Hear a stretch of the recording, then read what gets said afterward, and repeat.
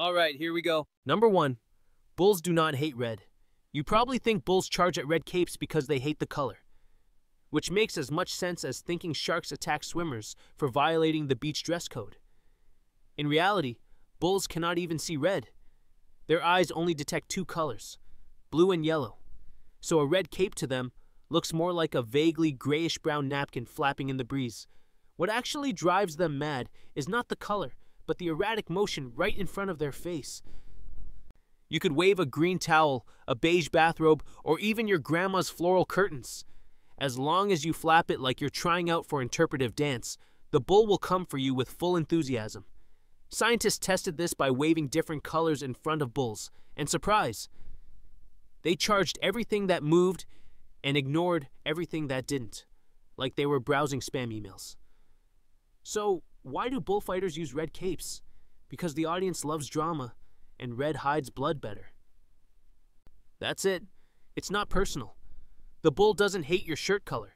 It just hates your flamboyant scarf twirling energy. Number two, touching a baby bird makes its mom abandon it. You think that just lightly touching a baby bird triggers mom leaves home mode like in a soap opera? The truth is that mother birds don't even realize you've picked up their chick because most bird species have a terrible sense of smell, even worse than yours when you're congested. They mainly recognize their offspring by shape and sound, not by the scent on your fingers after peeling snacks. A mother bird has already invested in an entire construction project using spit, dry garbage, human hair, and decaying leaves to build that nest, so there's no reason she would abandon her whole child rearing plan just because you touched it. Researchers still pick up chicks to tag them and place them back, and the mother bird continues to care for them like usual. Unless you've turned the nest into a tourist destination for kindergarteners to visit. Or you're live streaming four times a day singing next to it, then, okay, she'll move out because of you, not because of the smell. So if you see a baby bird on the ground, don't cry thinking you've destroyed its family. Just remember, you're probably not that important. Number three, Cracking joints causes arthritis. You crack your knuckles once and immediately receive a glare from grandma, as if you just triggered an ancient curse that doomed the entire family to generational joint problems. But the good news is that cracking sound isn't your bones breaking, and it's not a sign your knees will betray you after 40. It's just nitrogen bubbles in your joint fluid popping when you stretch the joint, like the gentle fizz of a soda can from your skeleton. After cracking, you even have to wait 20 30 minutes to do it again because the gas needs time to dissolve back into the fluid. And there was actually a doctor who cracked only his left hand knuckles for 60 years, leaving the right hand untouched. The result? Both hands had no arthritis, just a slight tendency to annoy people nearby. He even won an Ig Nobel Prize for his weird but useful experiment. The truth is, arthritis comes from age, genetics, and injuries not from your habit of cracking fingers when you're bored or waiting for the elevator. So if someone tells you to stop, it's not for your health. It's because they can't stand the sound of a mini explosion going off during a meeting. Number four, dogs only see in black and white. You think your dog is living in a sad black and white noir film, wandering through a colorless world like a bored detective.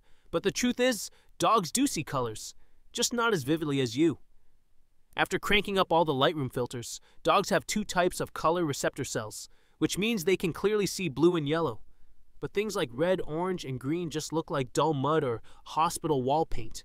So if you throw it a bright red ball and it ignores you, it's not because it hates you, it just literally can't see the thing. Try tossing a blue or yellow one and watch it go full superhero mode.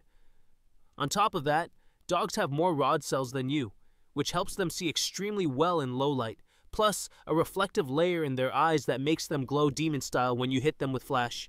In other words, dogs see better than you at night, smell better than you. They just can't tell the difference between lipstick shades. So next time, don't blame it for missing the new toy. It saw it. You just happened to pick the exact shade it thinks is the floor. Number 5. Cold weather gives you a cold.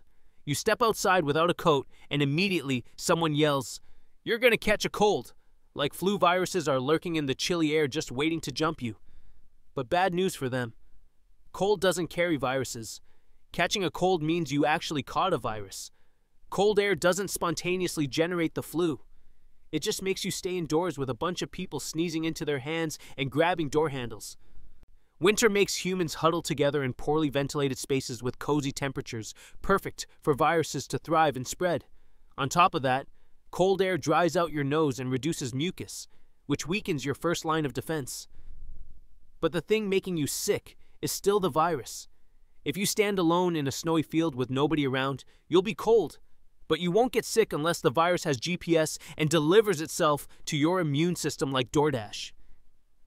In Antarctic research stations, people go months without catching colds until someone new flies in and brings the virus with them. So if you're scared of getting sick, don't blame the weather. Blame Jeff from next door who just sneezed into the shared kettle and forgot to wipe it. Number 6. Summer happens because the Earth is closer to the Sun. You once sat in geography class and thought the Earth heats up during summer because it's getting all cozy with the sun like someone crushing too hard without boundaries. But in reality, Summer in the northern hemisphere happens when the Earth is actually farthest from the Sun. The issue isn't the distance, it's the tilt. The Earth tilts at 23.5 degrees.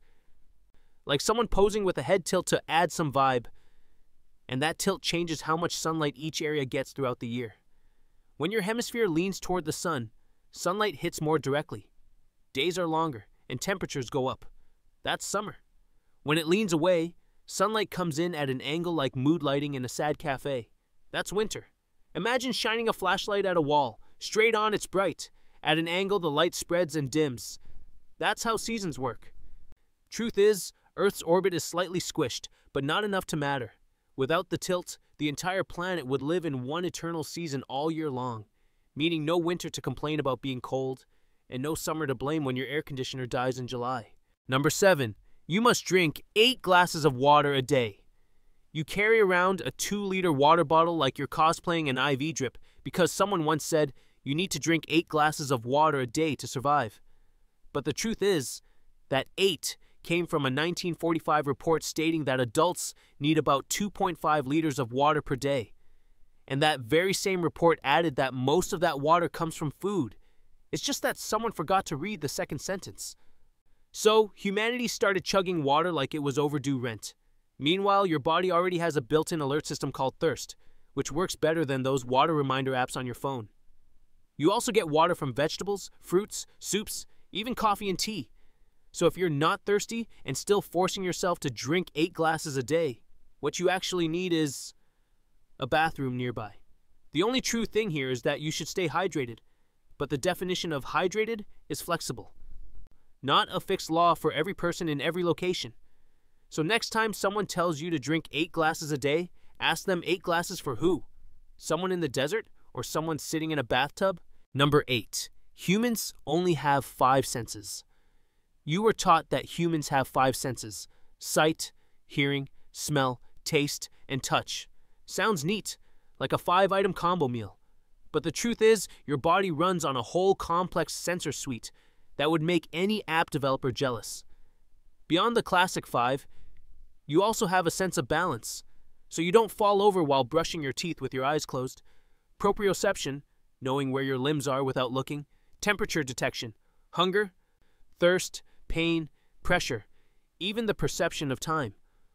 Although that one tends to glitch out on weekends. Neuroscientists list anywhere from 15 to 20 distinct senses depending on how they're categorized, meaning you're not just a creature with five senses, you're a full on biological radar station scanning every possible input. And sometimes using all that processing power just to locate a remote that's been under your pillow the whole time. That's all for today. Comment the one that fooled you the longest and subscribe if you want more brain bugs explained.